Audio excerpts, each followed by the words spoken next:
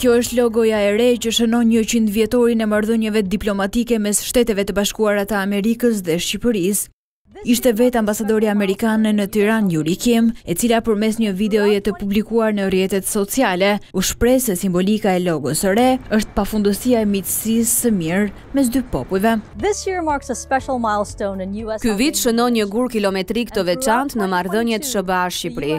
Shpresojmë të jeni dakord se ajo shpreh miqësinë midis popullit amerikan dhe popullit shqiptar nëpërmjet ngjyrave, skicimit dhe fjalëve.